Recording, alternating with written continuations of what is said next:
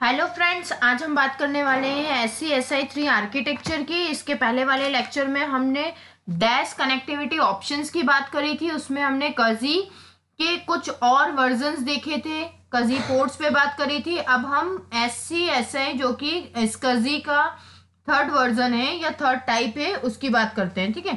तो basically uh, इस कजी three architecture approved या पब्लिश हुआ था 1996 में X point three point two seventy standard जो कि आंसी के थ्रू पब्लिश हुआ था।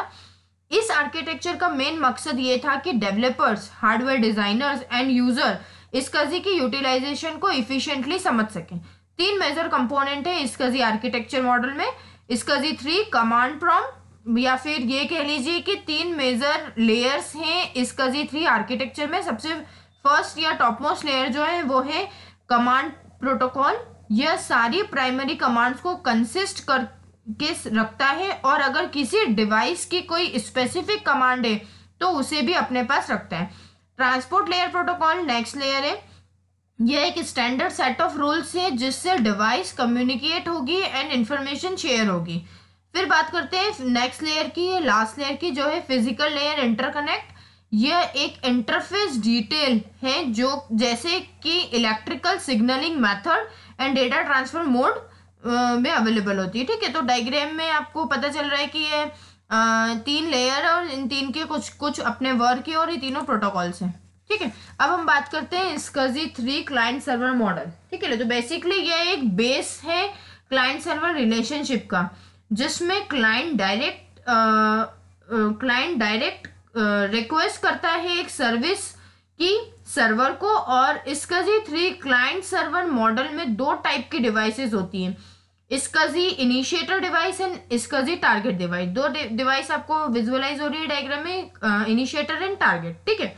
सबसे पहले हम बात करते हैं इनिशिएटर की। इससे हम एप्लीकेशन क्लाइंट भी बोल सकते हैं। यह कमांड इशू करती है टारगेट डिवाइस को और इसका एग्ज़ाम्पल इसका जी होस्ट एडॉप्टर है। और जी टारगेट डिवाइस जो है, इसका काम कमांड्स को एग्जीक्यूट करवाना है, जो जी इनिशिएटर के थ्रू जनरेट हुई है। और कभी कभी होस्ट एडॉप्टर भी टारगेट डिवाइस की तरह काम करता है। इसका जी टारगेट डिवाइस एक एक या एक से ज़्यादा लॉजिकल यूनिट्स कंटेन करके रखता है। बेसिकली लॉजिकल यूनिट एक ऑब्जेक्ट है जो कि एक डिवाइस फंक्शनल मॉडल की तरह काम करता है। इसका जी कमांड स्टैंडर्ड में। और इसका जी इनिशिएटर के थ्रू जो कमांड सेंड किया जाता है, उसे प्रोसेस करने का काम लॉजिकल यूनिट करता है। इस लॉजिकल यूनिट में दो कंपोनेंट होते हैं डिवाइस सर्वर और टास्क मैनेजर ठीक है तो ये आपको दिख रहा है डायग्राम में डिवाइस सर्वर और टास्क मैनेजर दो कंपोनेंट यहाँ पर हमारे पास अवेलेबल है। ठीक? इसका जो इनिशिएटर डिवाइस में आप एप्लीकेशन क्लाइंट होता है, जैसा कि आप डायग्राम में देख रहे हैं, ये रहा सॉरी ये रहा एप्लीकेशन क्लाइंट ठीक है? और इस डिवाइस की सर्विस रिक्वेस्ट में command descriptor block C D B होता है। बेसिकली कमांड डिस्क्रिप्टर ब्लॉक अन उन कमांड्स को डिफाइन करता है जो एग्जीक्यूटेड है और इनपुट कमांड्स की लिस्ट को स्पेसिफाई करता है और अदर पैरामीटर ये स्पेसिफाई करते हैं कि कमांड को प्रोसेस कैसे करें। ठीक है? इसका जो डिवाइस का आइडेंटिफिकेशन स्पेसिफिक नंबर से आ, आ, किया जाता है। और मतलब हमारे पास जितने भी स्कजी डिवाइसेस होते हैं उनका आइडेंटिफिकेशन एक स्पेसिफिक नंबर से किया जाता है जिसे हम स्कजी आईडी कहते हैं और ये नंबरिंग ज़ीरो टू सेवन या फिर सिक्सटीन तक हो सकती है। अब बात करते हैं स्कजी पोर्ट्स की। तो हमारे पास फ़िज़िकल कनेक्टर हैं जो कि स्कजी केबल्स के थ्रू प्लग रहते हैं ताकि डिवाइसेस से कम्युनिकेशन हो सके। यह चार टाइप के पॉसिबल हैं। Initiator port targeted port target initiator port and target with multiple ports ठीक है? अब टारगेट इनिशिएटर डिवाइस जो है वो कंटेन करके रहती है target initiator port can switch origin orientation depending on the role it plays why while participating in an input output operation ठीक है? तो यहाँ पर इनिशिएटर ओनली इनिशिएट करेगा रिक्वेस्ट को। जैसे कि हम डायग्राम में देख रहे हैं कि हमारे पास ये चार कम्युनिकेशन के लिए uh, चार पॉसिबल पोर्ट्स हैं। इनिशिएटर टारगेट कंबाइंड और target model with multiple ports ठीक है? तो सबसे पहले बात करते हैं इस डायग्राम में यहाँ पर इनिशिएटर जो है वो सिर्फ़ और सिर्फ़ इनिशिएट करेगा रिक्वेस्ट को यह डिवाइस और कोई रिक्वेस्ट सर्विस नहीं करेगी, और ना ही ये कोई लॉजिकल यूनिट कंटेन करके रखती है। इसके जैसे ही इसका जी टारगेट डिवाइस भी है, जिसमें सिर्फ़ टारगेट पोर्ट होते हैं, जो कि रिक्वेस्ट को सर्व करते हैं बट इनिशिएट नहीं करते। तो इन दोनों की बात तो हमने कर ली। अब अगर टारगेट इनिशिएटर पोर्ट की बात करें तो ये ओरिएंटेशन स्विच करेगा अकॉर्डिंग टू रिक्वायरमेंट और अगर मल्टीपल डिवाइसेस से रिक्वेस्ट सर्व करना हो, हो तो इसका जो डिवाइस में मल्टीपल पोर्ट्स फैसिलिटी अवेलेबल होती है।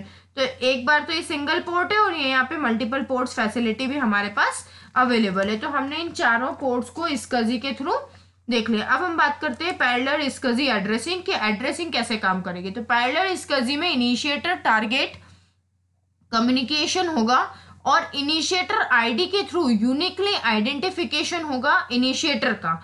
और वही एड्रेस ओरिजिनेटिंग एड्रेस के जैसे यूज़ होगा। इस आईडी की रेंज ज़ीरो टू फिफ्टीन के बीच लाई करती है।